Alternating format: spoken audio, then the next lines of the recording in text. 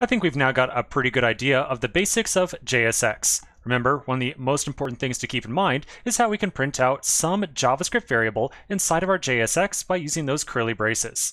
Just to make sure that we really understand what's going on, the next video or the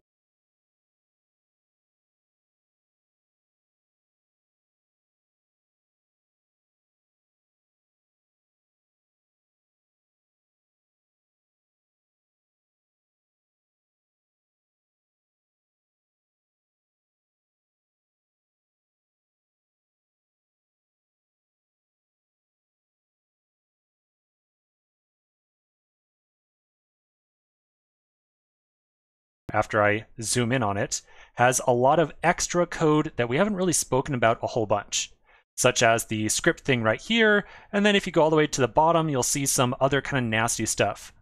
All that extra stuff you see in here is basically just to get React working in this little test environment of sorts. So in order to solve this problem, you only have to really change one single line of code. So don't worry about doing any import statements or any require statements or anything like that. Just focus on the problem statement up here and making sure that you solve exactly what it's asking for. Once you've got a solution put together, you can then click on check solution down there and you should be good to go. Now, of course, we'll go over a solution together after you give this thing an attempt. So let's pause right here, give this thing a shot. If you have any trouble with it, don't sweat it, just move on to the next video and we'll talk about the solution together.